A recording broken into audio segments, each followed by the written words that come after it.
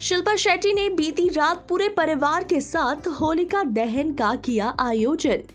इस वीडियो को देखकर बौखला उठे लोग। आइए जानते हैं इसके पीछे की वजह। शिल्पा शेट्टी अपने पूरे परिवार के साथ हर साल होली का दहन मनाती है और इस मौके पर उन्होंने अपने फैंस के साथ भी इस वीडियो को शेयर किया। शिल्पा शेट्टी को देखा जाए तो वो हर फेस्टिवल को बहुत ही ज़्यादा हर्ष उल्लास के साथ एंजॉय करती हैं और खास तौर पर सोशल मीडिया पर उनके फ़ोटोज़ को पोस्ट करती हैं। होली 2023 के मौके पर शिल्पा शेट्टी ने अपने पूरे परिवार और बच्चों के साथ होलिका दहन का भी सेलिब्रेशन किया।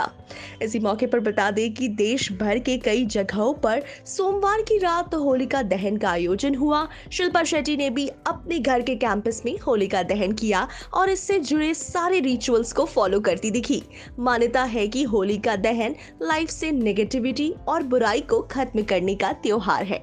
लेकिन इस वीडियो में लोगों ने कुछ ऐसा देखा जिसे देखकर जमकर ट्रोल करते हुए आ रहे हैं नज़र।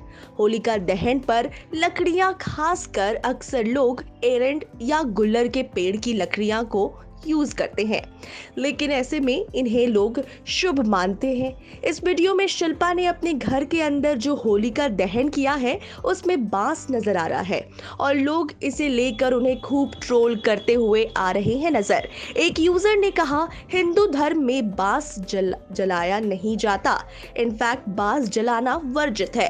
तो एक ने कहा, कभी भी बाँस नहीं जलाया जाता है। और एक यूज़र ने कहा, आपको शायद ये ज्ञात नहीं कि हिंदू धर्म में बाँस कभी नहीं जलाया जाता है। तो लोग अलग अलग तरह के से प्रतिक्रियाएँ देते हुए नज़र आ रहे हैं। खास तौर पर बाँस की लकड़ियाँ जलाने की वजह से शिल्पा शेट्टी बुरी तरीके से ट्रोलर्स के निशाने पर आ गई हैं और इस वजह से ये वीडियो काफ़ी ज़्यादा वायरल हो रहा है। शिल्पा शेट्टी के साथ इस होलिका दहन के वीडियो में उनके पूरे परिवार, उनके बच्चे भी शामिल होते हुए नज़र आए। पहले तो शिल्पा अपनी बेटी शमीशा को गोद में लेकर होलिका दहन के रिचुअल्स करती दिख रही। इसके बाद पूरे परिवार के साथ वह हाथ जोड़कर प्रार्थना करती दिखी। और ऐसे में देखा जाए तो ये वीडियो तो काफ़ी वायरल हुआ, लेकिन बुरी तरीके से ट्रोल हो गई शिल्पा शेट्टी बाँस को जलाने को लेकर।